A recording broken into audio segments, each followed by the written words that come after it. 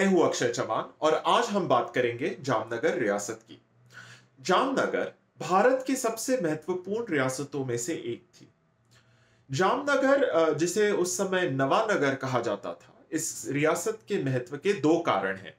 पहला कारण तो ये है कि ये जो गुजरात का जो सौराष्ट्र रीजन है, उसकी सबसे बड़ी और अमीर रियासतों में से एक हुआ करती थी। और दूसरा कारण ये है कि यहाँ के जो शासक थे, जिन्हें महाराजा ऑफ़ नवानगर या जाम साहब भी कहा जाता था, उन्होंने क्रिकेट जो भारत में जो क्रिकेट है, उसके प्रचार और प्रसार में बहुत महत्वपूर्ण रोल प्ले किया। जामनगर का इतिहास समझने के लिए हमें उसका लोकेशन समझना बहुत ज़रूरी है। जामनगर जो है, वो जो सौराष्ट्र का जो हालार रीजन है, जो उत्तरी सौराष्ट्र का जो नॉर्दर्न पार्ट है, वहाँ पर स्थित है। इसके पास में ही है द्वारका, जो भगवान श्री कृष्ण की राजधानी हुआ करती थी। ये माना जाता है कि यू नो भगवान श्री कृष्ण मथुरा छोड़ उन्होंने यहाँ पर द्वारका में अपना राज बसाया और फिर उनके वंशजों के बीच में कॉन्फ्लिक्ट्स हुए और फिर समुंदर ने उस द्वारका नगरी को अपने अंदर समा लिया। मान्यता के अनुसार जो भगवान श्री कृष्ण है उनके वंशज फिर अलग अलग जगहों पर बिखर गए और उनमें से ही कई वन, वन, जो वंशज जो थे वो थे जाडेजा राजपूत जिन्होंने फिर बाद में आगे चलकर जो गुजरात में कई रियासतें बसाई। इतिहासकारों के मान्यता के अनुसार जो जाडेजा राजपूत है, वो ओरिजिनली सिंध में रूल किया करते थे, वो चीफटन्स थे सिंध के। और फिर बाद में मध्ययुगीन यू नो अराउंड चौदहवीं पंद्रहवीं शताब्दी के आसपास फिर उन्होंने कच्छ में आकर अपना राज्य बसाया। अब कच्छ में आ, कैसा था कि ये जो जाडेजा क्लैन है उनके कई भाई हुआ करते थे कज़न हुआ करते थे। उनके अपने अपने फोर्टिफिकेशन और अपनी प्रिंसिपैलिटीज रियासतें हुआ करती थी और उनमें काफ़ी झगड़ा और कॉन्फ्लिक्ट भी हुआ करता था। तो क्या हुआ कि अराउंड पंद्रह सौ यू नो फिफ्टीन हंड्रेड की ये बात है कि जो जो जाडेजाज थे कच्छ के, उनमें कच्छ की राजगद्दी को लेकर काफ़ी कॉन्फ्लिक्ट हो गया। और जो जाम रावल करके एक योद्धा थे उनमें और जाम हमीर करके जो थे उनमें झगड़ा हो गया और जाम रावल ने जाम हमीर की हत्या कर दी। फिर ये जो जाम हमीर है, उनके जो बेटे थे, फिर ये वो अहमदाबाद चले गए, जो गुजरात के जो सुल्तान थे मोहम्मद बेगड़ा आगे चल के बहादुर शाह उन, उनके साथ रहे उनके साथ मदद मांगी। अब ये आ, मुगल बादशाह हुमायूं का भी आ, काल था। तो फिर जो आ, मुगल आर्मी है आ, जो बादशाह हुमायूं की वो एक आ, फौज लेकर जो आ, जाम हमीर के जो बेटे थे वो अपने पिता की हत्या का बदला लेना चाहते थे। तो फिर वो मुगल फौज के साथ उन्होंने कच्छ पर हमला किया। और ये जो जाम रावल थे, उन्हें कच्छ छोड़कर यहाँ दक्षिण में, जो मोरवी फिर मोरवी से आगे चल के, ये जो हालार का रीजन है, यहाँ पे आके उनको मूव करना पड़ा। उस समय ये जो हालार है यहाँ पर कई छोटे छोटे राज्य हुआ करते थे। कुछ ट्राइबल सेटलमेंट्स थे, काठियों के राज थे, थोड़े दक्षिण में, जो वेस्ट है, वहाँ पर जो पोरबंदर के जो जेतवा राजा थे उनका राज था। तो तब क्या हुआ? ये जो जाम रावल है, उन्होंने 1540 में एक नागना बंदर करके एक छोटा सा गाँव था। एक बंदर था ऑब्वियसली ट्रेडिंग पॉट बिकॉज़ उसे कैप्चर किया और वहाँ पर अपनी राजधानी बसाई। और इसी जगह का नाम उन्होंने नवा नगर, या नया शहर ऐसे रखा। और मज़ेदार बात यह है कि 1540 से लेकर 1947 तक ऑलमोस्ट 400 साल के काल में उसे नवा नगर ही रेफर किया जाता था कि नया शहर 400 साल पुराना नया शहर। तो ये थी शुरुआत नवानगर रियासत की, और उनके जो शासक थे, जो राजा थे, उन्हें जाम साहब कहा जाता था। एक थ्योरी ये भी है अभी ये इतनी हिस्टोरिकली वेरीफाइड थ्योरी नहीं है बट एक इंटरेस्टिंग थ्योरी है कि लोगों का मानना है कि अगर आप ये देखें तो ये एक पूरा पर्शियन इन्फ्लुएंस्ड इलाका है।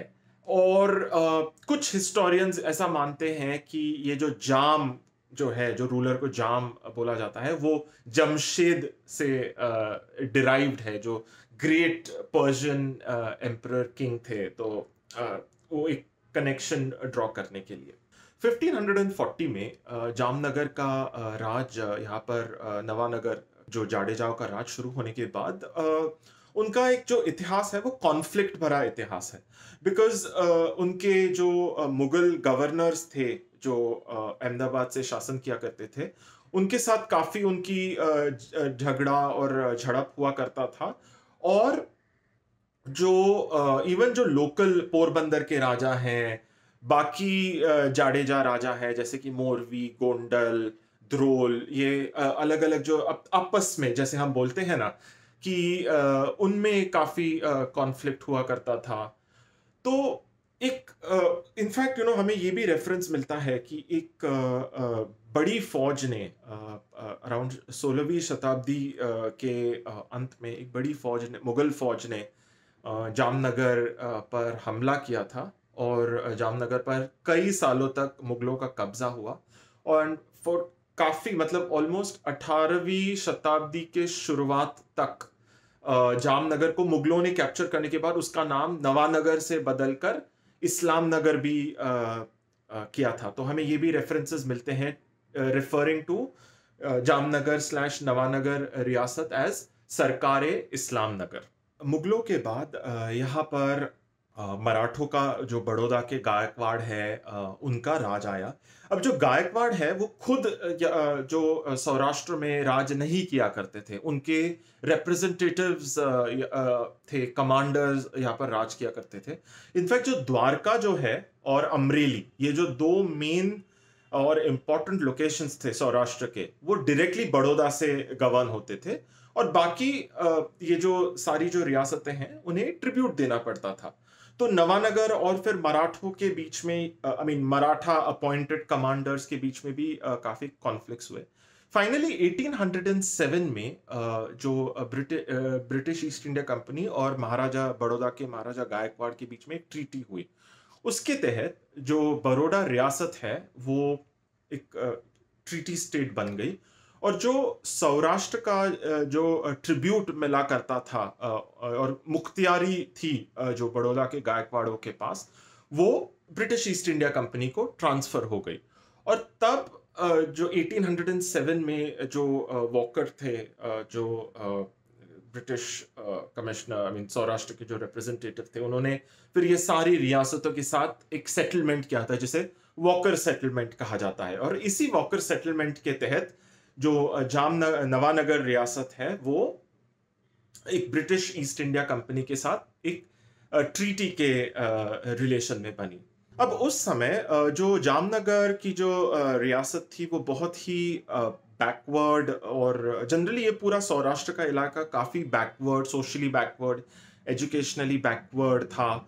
छोटी छोटी रियासतें थी लोगों पर काफ़ी जुल्म और अत्याचार होता था। यहाँ पर एक बात ये है कि जो अंग्रेज़ों ने काफ़ी लिखा है कि फीमेल इन्फेंटिसाइड बहुत था। जो गर्ल चाइल्ड है, जो लड़कियाँ अगर पैदा होती थी तो उन्हें बड़ी तादाद में यू नो जो सौराष्ट्र है और नवानगर इन एरियाज़ में उनकी हत्या की जाती थी और position of women was very bad 1820s 25 के बीच में यहाँ पर जो राजा थे, वो थे रानमल जी, जाम रानमल जी। उनके कार्यकाल में जामनगर में एक एक लेक जो जामनगर के बीचों बीच एक आइकॉनिक लेक है, वो बनवाया गया और उस लेक के बीच में जो लाखोटा और जो महल है, वो बनवाया गया और जो कोटा जो कोटा बेस्टिन जिसे बोला जाता है, वो भी बनाया गया। आज ये जो लखोटा पैलेस है, वो जामनगर की पहचान है तो वो उसी समय में बनाया 1850s में यहाँ पर राज हुआ जाम विभाजी का। जो जाम विभाजी थे, उनके कार्यकाल में यहाँ पर काफ़ी जो अकाल या फैमिन्स आए और जो विभाजी हैं, उन्हें इसलिए जाना जाता है क्योंकि जो जामनगर की प्रजा है, उनको इन अकाल या फैमिन से उन्होंने बचाया। एक बात इंटरेस्टिंग ये है कि जो जाम विभाजी थे उनकी चौदह पत्नियाँ थी। और चौदह पत्नियों से भी उनको कोई औलाद नहीं हुई। तो जब uh, 1895 में जब उनका निधन हुआ तो जो राजगद्दी पर बैठने के लिए काफ़ी झगड़ा शुरू हुआ। और उनमें से जो क्लेमेंट्स थे जामनगर की गद्दी में से एक जो क्लेमेंट थे वो थे विभाजी के कजिन के लड़के जिनका नाम था रंजीत सिंह जी या जिन्हें पॉपुलरली रंजी कहा जाता है। तो वो किसी राज परिवार से नहीं थे। अगर हम वैसे देखें तो he was just mister Jadeja. पर उनके साथ जामनगर के इतिहास का एक नया अध्याय शुरू हुआ। द थिंग इज़ उन, उनकी एक इंटरेस्टिंग बात ये थी कि वो अंग्रेज़ों के बीच में काफ़ी पॉपुलर थे। अब इसका कारण क्या था? नो व्हाट हैपेंड वाज कि रंजी जो थे, वो जो गुजरात के राजकुमार कॉलेज में पढ़े लिखे थे। बाद में वो कैम्ब्रिज गए। जब वो कैम्ब्रिज गए तो उन्हें क्रिकेट का शौक चढ़ा। अब ये वही समय था जब देश में, हिंदुस्तान में क्रिकेट पॉपुलराइज हो रहा था। जो रणजी थे, उन्होंने फिर जो कैम्ब्रिज की जो क्रिकेट टीम है, उसके बाद जो ससेक्स है तो वहाँ पर वो काउंटी क्रिकेट खेलने लगे। उसके बाद उन्होंने जो इंग्लैंड की जो टीम है उसके लिए उन्होंने क्रिकेट खेला। और ये उनका जो क्रिकेटिंग करियर था वो he was a very good cricketer तो उसकी वजह से क्या हुआ कि you see in those days England जो था I mean it was a cricket playing country और जो एलिट था जो रूलिंग क्लास था जो इंग्लैंड uh, का वो क्रिकेट खेलता था। तो उनकी दोस्ती you know who's who of जो ब्रिटिश एम्पायर में जो थे, उनके साथ हुई। उनके he had friends at high places जैसे हम बोलते हैं कि पावरफुल दोस्त जो ब्रिटिश साम्राज्य में जो थे। जो ब्रिटिश राज परिवार से लेकर वाइस रॉय से लेकर इंडस्ट्रियलिस्ट हो लॉर्ड्स हो जनरल्स हो, सब सब उन्हें अपने उनके क्रिकेटिंग प्रवेश के लिए जानते थे। और रणजी का एक सपना था जामनगर की राजगद्दी हासिल करना। बट ऑब्वियसली जामनगर के दरबार में बाकी क्लेमेंट्स भी थे। तो क्या हुआ था जब विभाजी का जब निधन हुआ था तो उन्होंने उनकी जो पत्नी है उन्होंने एक दूसरे लड़के को गोद लिया था जिसका नाम था जसवंत सिंह जी या जस्सा जी जाम जस्सा जी कहा जाता है। बट किस्मत का खेल देखिए कि uh, 1907 में जस्सा जी का निधन हो गया। अब कुछ लोगों का मानना है कि वो बीमारी से मरे।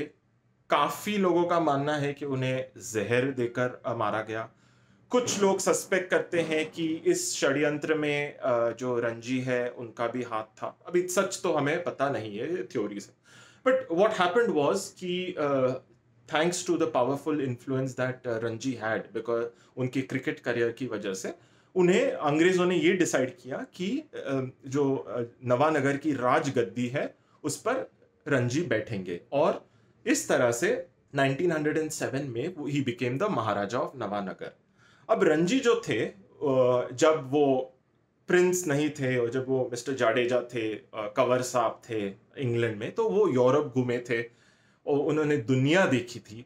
और जब वो जामनगर आए तो it was a very backward unplanned छोटा सा जो जैसे हम बोलते हैं ना अनप्लैंड शहर नैरो नैरो गलियाँ एंड ऑल तब उन्होंने डिसाइड किया कि हम जामनगर को पेरिस ऑफ़ सौराष्ट्र बनाएँगे.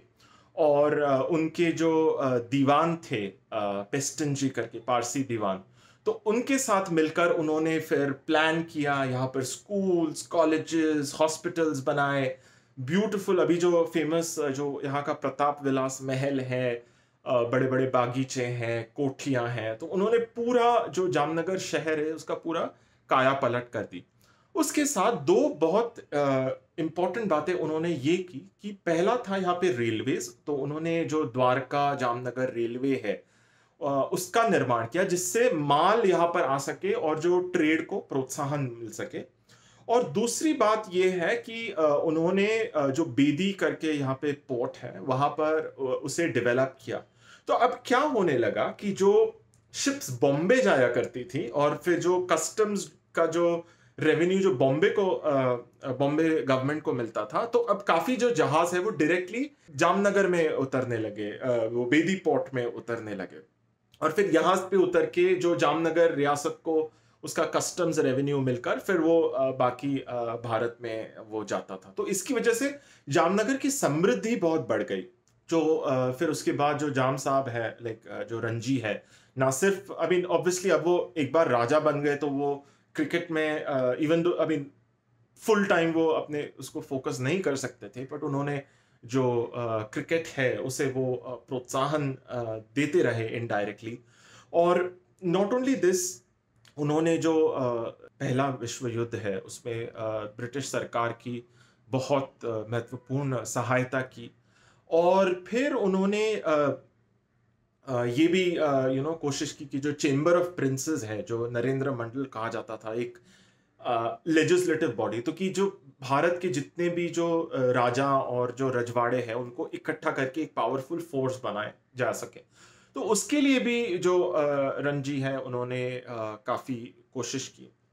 बट 1920s के में यू नो अंत में जो एक प्रॉब्लम ये हुआ कि जैसे मैंने आपको बताया था कि जो बीदी पोर्ट है आ, क्या होता था कि अब सारे जो जहाज़ है वो यहाँ पर उतरने लगे और जो बॉम्बे का जो रेवेन्यू है जो बॉम्बे पोर्ट को मिलता था वो बहुत कम हो गया। तो इसकी वजह से अंग्रेज़ों को काफ़ी वो ये बात पसंद नहीं आई। तो उन्होंने क्या किया कि अहमदाबाद के पास एक गाँव है विरम गाँव करके। तो वहाँ पर जो princely state you know British territory खत्म होती थी और प्रिंसली स्टेट शुरू होती थी। तो उन्होंने क्या किया कि वहाँ पर एक कस्टम का एक बहुत बड़ा एक केंद्र लगाया कि अगर आपको जो सौराष्ट्र है वहाँ से अगर ब्रिटिश टेरिटरी में एंटर करना है तो विरम ग्राम में आपको एक ज़बरदस्त आपके गुड्स पर टैक्स लगता था। तो ये एक यू you नो know, उस समय गुजरात में एक सौराष्ट्र में एक हाहाकार मच गया था। काफ़ी यू नो जामनगर भावनगर जूनागढ़ काफ़ी रियासतों ने इसे in fact you know even Mahatma Gandhi ने इसे बहुत अपोज किया था बिकॉज़ वो पूरा ट्रेड कोलैप्स हो गया। तो रंजी जो थे वो अंग्रेज़ों के इस रवैये की वजह से बहुत डिस्टर्ब थे और 1933 में उनका निधन हो गया। उसके बाद गद्दी पर आए उनके नेफ्यू महाराजा दिग्विजय सिंह जी। रंजी जो थे उनकी कोई औलाद नहीं थी तो उनके नेफ्यू गद्दी पर बैठे। जो जाम साहब दिग्विजय सिंह जी जो थे, वो उन्होंने 1947 तक जामनगर पर राज किया। वो बहुत ही जिसे हम बोलते हैं मॉडर्न और प्रोग्रेसिव थे। उन्होंने, पर उनका जो मेन इंटरेस्ट रहा वो इंडस्ट्रियल डेवलपमेंट में रहा।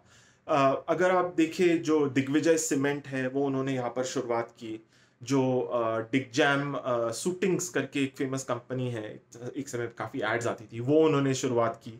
उन्होंने एक अपनी एयरलाइन खोली जो जाम एयर करके जो थी, वो खोली, जो दिल्ली का जो अशोका होटल है उसके निर्माण में भी जो दिग्विजय सिंह जी है, उनका बहुत इम्पोर्टेंट रोल रहा।